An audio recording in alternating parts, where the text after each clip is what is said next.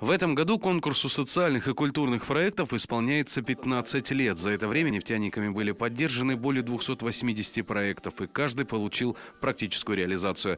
Сегодня победители определяют в нескольких номинациях. Это экология, спорт, молодежные инициативы, духовность и культура.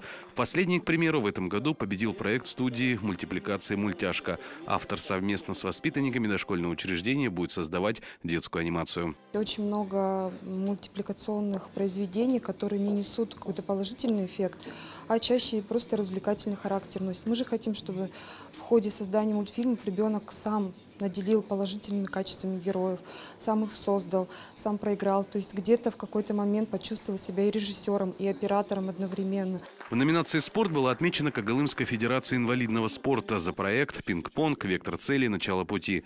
Не осталась без внимания инициатива когалымчанки Лилии Курамшиной. Она предложила проект «Я познаю мир».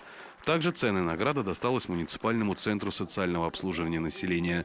Проект «Рука в руке» будет направлен на реабилитацию детей с тяжелыми формами нарушения развития.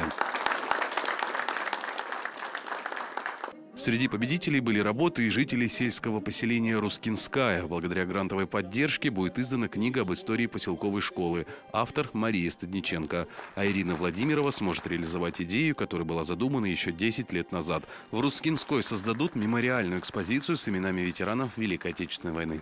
Более 50 семей Рускинской предоставили сведения о своих фронтовиках.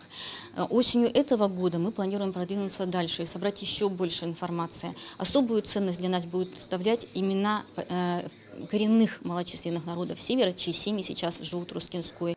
Как заявили победители, каждый проект будет реализован в течение года. Большой репортаж о тех, кто благодаря поддержке нефтяников свою идею воплотит в жизнь, смотрите в итоговой программе «Вместе о главном». Денис Хисматуллин, Николай Сапожников и Алексей Николаев специально для новостей.